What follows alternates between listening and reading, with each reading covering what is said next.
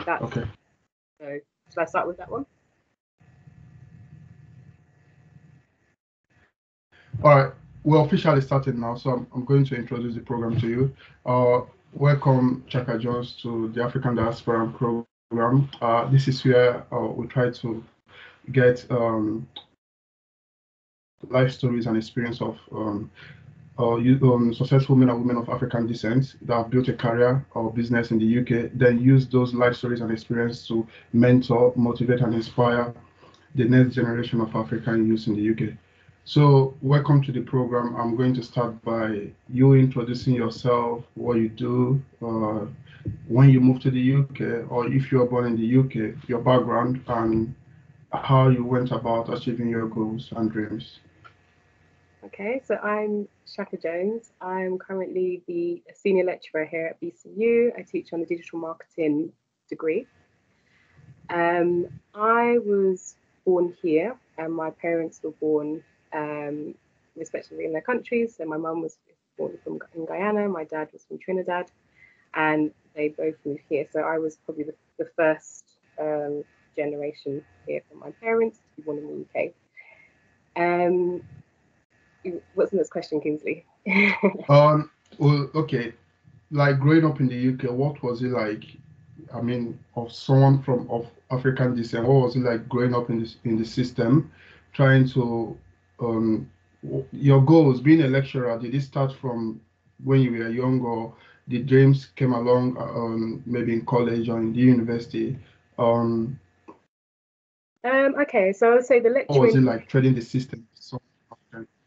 So, I had, I didn't think I would, I didn't think I would be a lecturer for one. So that's, um, um, I this is kind of like my third um, career change. So this is where I am now. Um, I always wanted to work. Uh, so I guess I always like creativity and technology. Um, hence, I worked in went into digital marketing um, after I finished my degree. Um, however, I knew that you always had to work hard and always every day you have to, you know, put your best foot forward um, to get what you want. And that I guess that's come from my parents, you know, coming over, um, you know, to the UK, um, and within my family as well. Um, that was always the case. Um, in terms of where I grew up in the UK, in, well, I grew up in London, so it was quite multicultural. Um, and in terms of the schools and the education, well, the, the people that were around, it was quite mixed. So um, in terms of my being who I am within that at that age, um, it didn't seem to make much of a difference. we were just all in it together. Um, and then obviously I went up to university um, and then started to enter the working world. And that's when I guess, you know, you notice differences in terms of, you know, the sort of the effort, the people that you're working with. Um, you know, not everyone looks like you. Um, you could be maybe the only female as well um, in the room because of the working in digital marketing and going into that sort of industry. Um, so I would say that's where you know you kind of notice the differences um, of how you have to sort of motivate yourself to get to the next stage.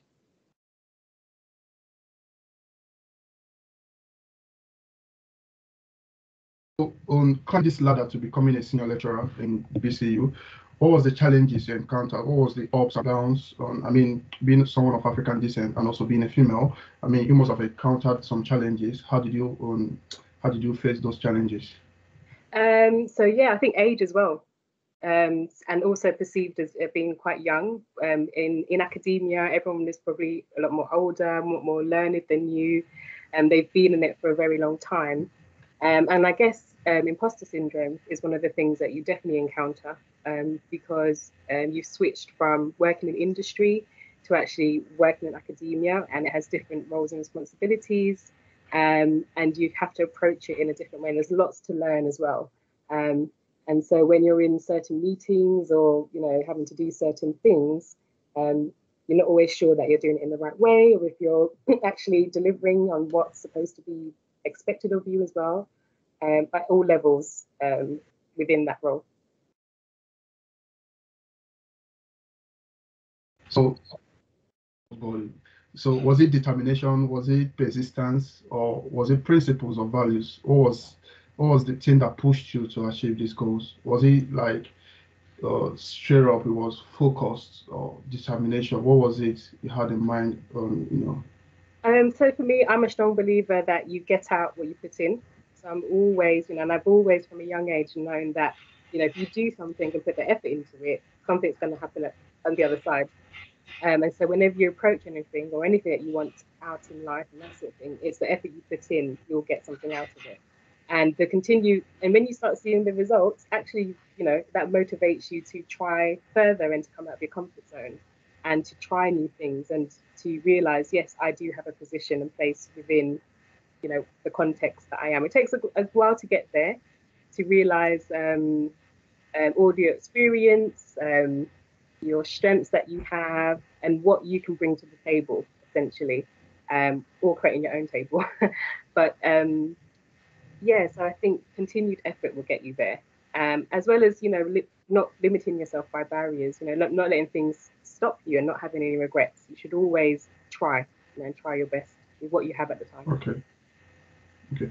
So, what are what do you think are the chances of people I mean, like students moving to the UK to study, especially those coming from Africa or maybe um, Jamaica or any other uh, place of African descent, coming to the UK for studies. What are the chances of achieving their dreams and goals here in the UK? Um, I think for um, just any international student as well, but I know we're particularly focusing on the African diaspora, it's the difference in culture as well and the relationship and the way that we teach here, I suppose um, the system in which um, things are communicated and delivered. Um, I think you have to switch gear and understand um, how it's taught, but also you should not feel um, like an imposter either, because if you've got a place at university um, and they've accepted you, you're there for a reason, and you know you've got everything ahead of you to pay for. so yeah, I think that but sometimes it is difficult to communicate because you're you're seeing different people. It's not necessarily people that you would normally communicate with, especially lecturers and academics are seen as something you know a bit different um, in from your respective countries, but held in a different regard. So I think you have to come there and be honest, and if you're struggling, you have to say, and you're you're there for a reason, and you've got the place, and you're you know the fact that you're there is the first step forward. And so you shouldn't so, allow certain things to get in your way. So, in a nutshell, you're trying to say that with the right motivation, with the right focus, determination, anybody that comes here gets an admission in the school is there for a reason, and for that reason, he or she can achieve whatever he sets his mind on. I was trying to say. Yeah, yeah. definitely. And also, I think you get in where you fit in. You know, there's no point trying to force yourself to be somewhere where it doesn't feel right. You know, you know it doesn't feel right, and you know it's not working for you. So you have to, you know, it takes trial and error, but that's what life is about, I suppose. All right. The, the most important thing is that I mean, uh, you are a testimony to the fact that a lady or someone from African descent can be wherever she wants to be in the UK. I mean, with the right determination, is a testimony. So, I mean, the audience out there, these these students we are trying to get this um, interview to, I mean, they should see this and think, oh yeah, it's, it's achievable, it's possible, I can do this. Uh, that's the aim of this. So I would like to ask you, what's the advice to these people? Like, what's the advice? And then your experience as a lecturer, what are the things you think that might uh, impede on students from achieving their goals? Um, I think um, for students, I suppose um, it's yeah it really it's about the effort it's the hard work. Nothing comes just like that. So what you see you know we all have the perceptions of social media and what happens and so on. No everyone's got there because they put the effort in. From the top man to you know wherever you're there because of the effort that you put in. So as long as you come with that energy and that focus like i'm going to try my best with what i have all the time you're going to see the rewards. Um in terms of what was the second question about?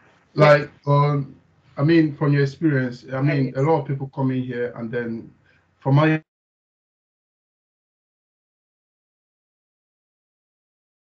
surround themselves with the people with the wrong friends not bad, friends. it turns around and you know impedes them from achieving their goals. Most of them drop out of school. So, what's your advice to these students? What and what what are the things they should do and things they should not do from your own experience? Um, I think you have to put yourself first as well. What you always remember why you've come here and what you've come to do, um, and try not to get waylaid by you know other influences and stuff like that. Because at the end of the day, when you finish your degree, and you've graduated, you may not see these people again. They're going to go off into their respective places and, you know, whatever. And you may not have done your best at the time, you know.